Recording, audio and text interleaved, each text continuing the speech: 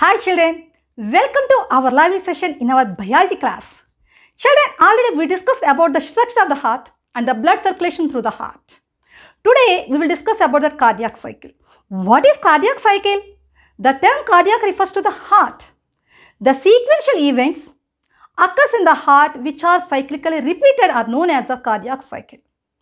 Before the discussion of the heart, we have to know when the heartbeat starts in the human. At the 21st day of the embryonic development, the human heartbeat will start.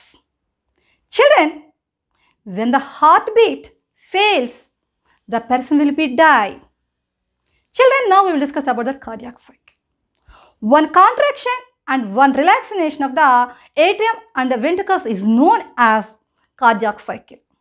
So contraction, it is known as systole. So once observe my hands, this is the contraction, this is known as systole and this is the relaxation, this is known as diastole.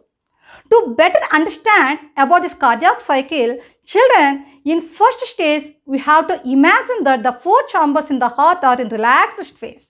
So children, once observe my fist and think that my upper fist resembles like the atrium and the down fist resembles like ventricles. Okay children, so already I told that in first stage, the four chambers are in the heart are in relaxed state. So they are in relaxed state. So in second stage, the deoxygenated blood from all body parts enters into the atria through superior vena cava and the inferior vena cava. And also the oxygenated blood from the lungs enters into the left atria through pulmonary vein. So the atria fills with blood. Okay, so in third stage, the atria starts contracting and forces the blood into the ventricles. Okay, children. So the ventricles gets the blood respectively from the auricles. Okay. So in third stage, the ventricles fill with the blood. In fourth stage, the ventricle starts contracting at the same time the atria starts relaxing. Understood children? Again I am saying that the ventricles started contracting and the atria starts relaxing. So at this time the aperture in between the auricles and the ventricles is closed by the tricuspid valve and the bicuspid valve. Why? Because it prevents, it wants to prevent the backflow of the blood into the atria due to the low blood pressure. So, the blood from the ventricles is enters into the pulmonary artery and the aorta respectively. Okay. So, in fifth stage, the ventricle starts relaxing. Okay.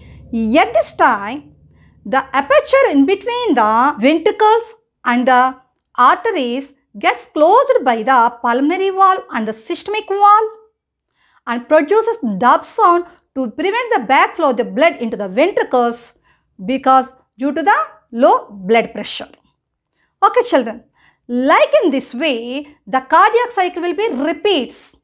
So this is known as cardiac cycle. To complete one cardiac cycle, it takes the 0.8 seconds time. To complete one contraction of the atria, it takes the 0.11 to 0.14 seconds time and for the ventricles contraction, it takes the 0.27 to 0.35 seconds time. Children, this like the heart gets the blood and pumps the blood cyclically. It is known as the cardiac cycle. So, like in this way, the blood pumps into the blood vessels with regular intervals. So, it is the heartbeat and the pulse, we know that the pulse, the pulse resembles that heartbeat.